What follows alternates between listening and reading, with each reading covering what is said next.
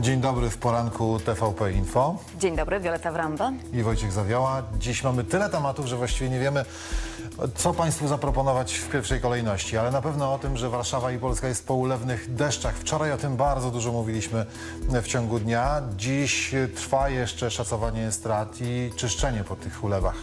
Ale będziemy też mówić o tym, że poszukiwana przez 11 dni Izabela P. została odnaleziona i nie chce kontaktu z rodziną. Te informacje przekazała prokuratura. Mamy bardzo dobrą wiadomość dla seniorów, bo pod koniec sierpnia pierwsi seniorzy otrzymają 14 emeryturę, ale przy okazji będziemy ostrzegać także przed e, oszustwami, bo one się mnożą w takich sytuacjach.